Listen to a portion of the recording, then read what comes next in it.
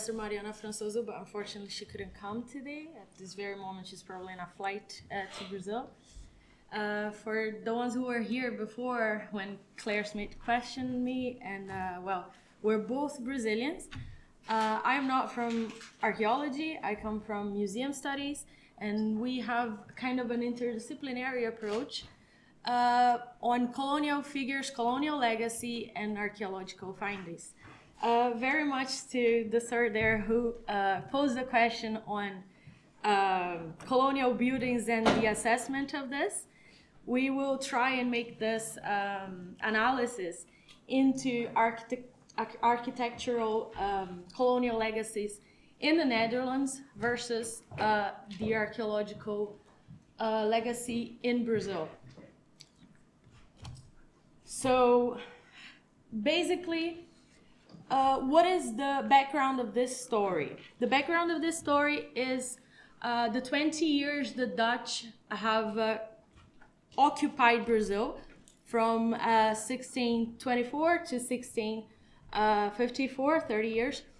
And during this period, uh, the Dutch uh, assessed this man to be the governor of the colony for seven years and he was Johann Maurits uh, van Nassau-Siegen. And he was uh, German at birth, but he was very much there from a noble family uh, of Nassau-Orange, and he was the representative of the Dutch in Brazil, in the occupied area. Uh, so what's the background of this? Basically, uh, there is a museum in the Netherlands that's called the Maurits House in The Hague, and uh, they had this replica of a sculpture of Johann Maurits that was in their lobby. And in the beginning of this year, uh, he, the museum was the museum removed the sculpture from the lobby without making a PR or anything. And uh, some journalists saw that and accused the museum of trying to erase history by taking out this colonial figure of display. Uh, the thing very easily escalated up to the prime minister came on Twitter uh, to say, here you can see his quote uh, in Dutch, something like the, we should not look uh, at the present uh, or at the past with the eyes of the present to assess history. Well, that's very much of a contested sentence because if we don't do that, then what do we do? Uh, in my case, as historians or in the archaeological field. But the thing went to a complete whole level that it took like uh, media and norm uh, current newspapers. Here you can see kind of the sculpture with a head, uh, well, beheaded, uh, and they were uh, uh, kind of accusing the museum of a new iconoclasm, so to say.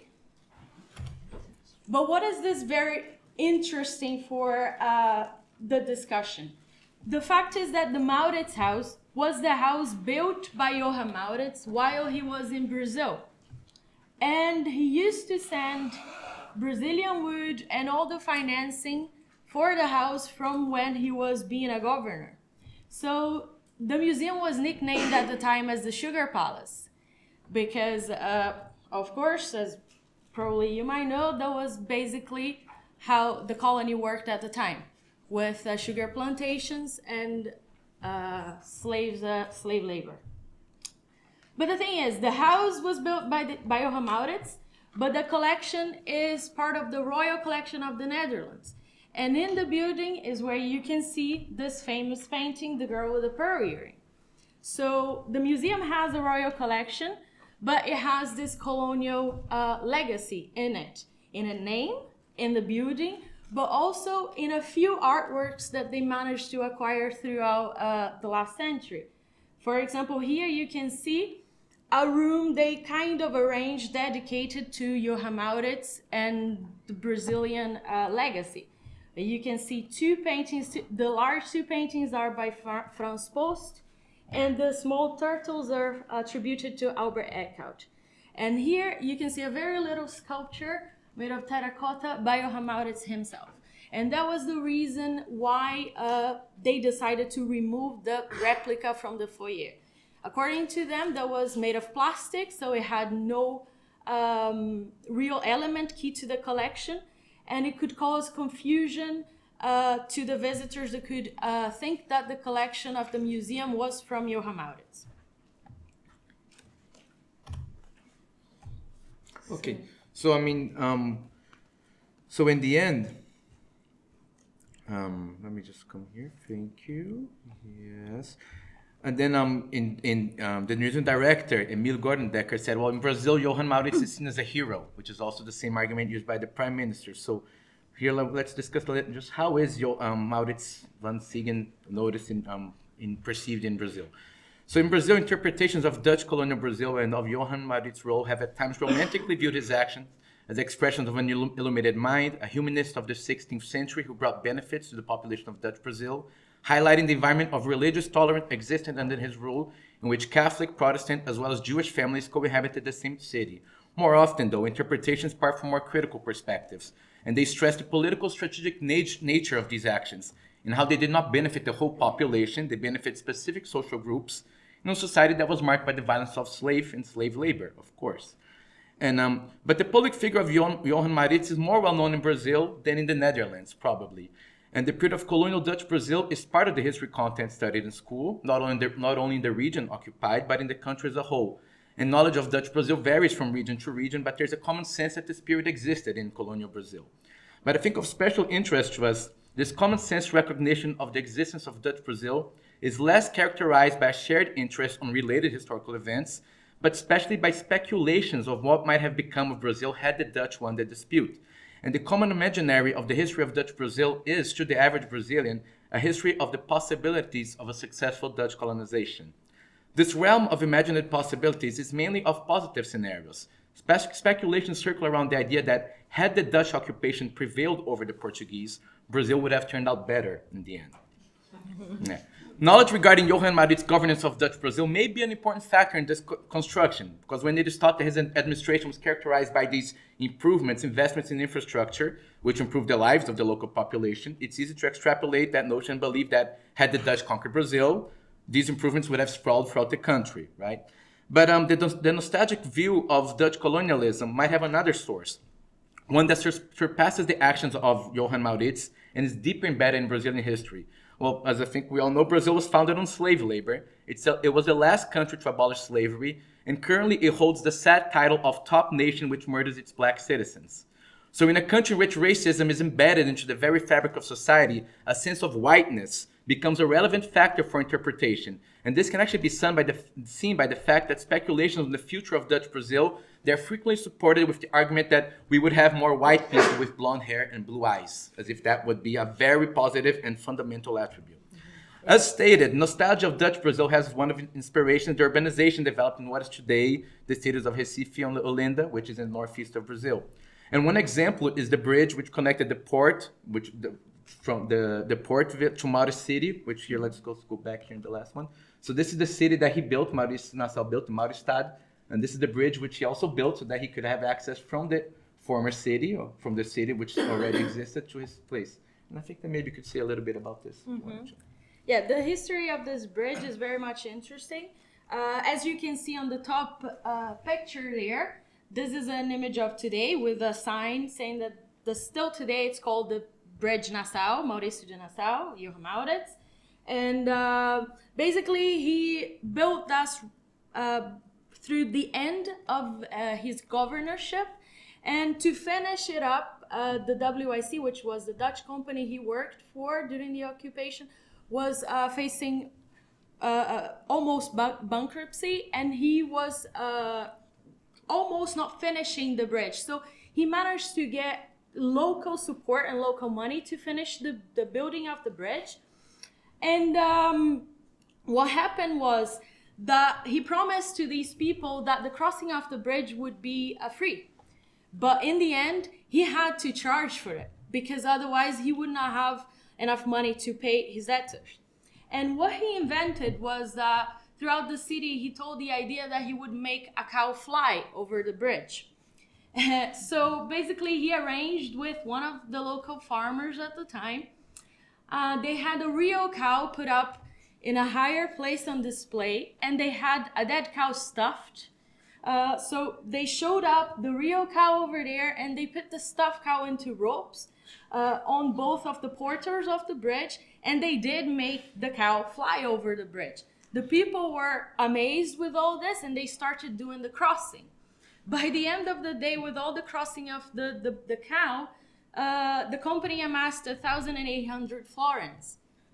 So, uh, and this is part of the imaginary and the memory uh, that's still very much alive in Brazil. That is a picture of an event that happened this year, which you can see a cow made of uh, fabric flying over a specific place in the very city where uh, Johann Maurits was.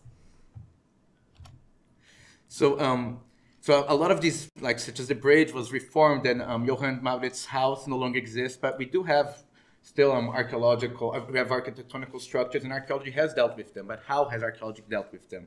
So archaeology may have an important role in deepening discussions on the role of Dutch colonization in Brazil.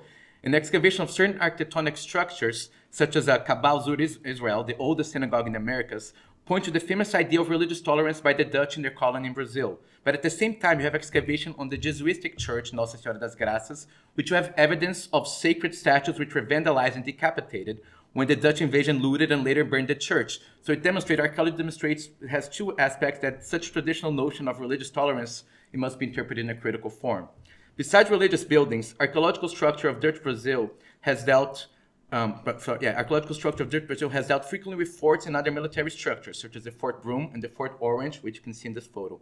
Both forts are popular tourist destinations, drawing visitors to archaeological excavation. Yes, in 2020. No, yes, I, I would like just to mm-hmm. stress mm-hmm. out here, for example, that this fort uh, is uh, Santa Maria. It's called Santa Maria, which is a, mm-hmm. a very Portuguese name after the Dutch being defeated. But in the social imaginary, it's still known as Fort Orange. That's why you can see mm-hmm. the heading there as Fort Orange. So Fort Orange or Santa Maria was subject to archaeological excavation in 2002 and 2003. And in 2003, the royal family, an official visit to Brazil, the Dutch royal family visited the fort, which, mo- which shows its political aspect. And um, and, but archaeological studies of Dutch Brazil forts have discussed both architectonic traits as well as artifacts found in excavations, but they generally focus on questions such as defining the structures using excavation alongside documents, attempting to understand the various layers of Dutch and Portuguese and what is each part, and recommending possible actions regarding the preservation and musealization of these architectonic structures. Unfortunately, Discussions on the role of African and Native individuals regarding these spaces are practically non-existent. At most, they say, ah, 50 slaves were used as labor for such, but not even that. Usually they don't, and if they do, there's no critical aspect to it. But even though these populations certainly played a fundamental role in this space, and I'm saying not only as labor force and supplier of the material, but also as agents, as social agents in these spaces, you know, after they were constructed. Other buildings related to Dutch occupation no longer exist such as the Palace of Freiburg and its surroundings, built by Johann Maurits, and which housed the first astronomical observatory, observ- observatory sorry, of the Southern Hemisphere, and the Zoo Botanical Garden, in which many New World species of plants and animals were studied. First observatories, first botanical gardens, first large-scale bridges, and this is just summing. The many pioneering architectural feats conducted under his, his administration serve as continuous fuel for the Dutch nostalgic myth of Brazil, at the same time reducing the credited role of other individuals and groups, such as African and Native populations, in the context of colonial Dutch Brazil. An important step in the recognition of ignored segment lies, therefore, in the recognition of these building and historic ruins as colonial heritage. And you have to keep in mind the serious implication that the word colonial means, not just referring to a time period, but to a whole structure organization. And just summing up, archaeologists may have a fundamental role in this question, demonstrating through materiality what ideological constructs and historical documents have traditionally ignored that indigenous and African individuals, in a context of violence, exerted agency in numerous ways, some of which can still be seen in the same buildings. By playing such a role, archaeology will not only bring new and exciting information about the past, but will also be able to better contribute to issues of relevance to current populations who are directly or indirectly inheritors and descendants of individuals and groups who, although systematically reduced to a minor role in traditional historical interpretations of Dutch Brazil, are in fact the soul and cement who built these architectural features. That's it. Yeah. Yes, and I'm. No, yeah, I was just gonna say to uh, try and connect this. How can we work with archaeology and topics such as memory studies or colonial legacy in museum studies to better assess this uh, imaginary of uh, creating identities in different spaces, in different places, such as uh, the, the colonizers, as we can see here with the Maurits house plan, but also in the colonized places such as Brazil and, as Eduardo say, said, more broadly in Latin America, so to say. That's it.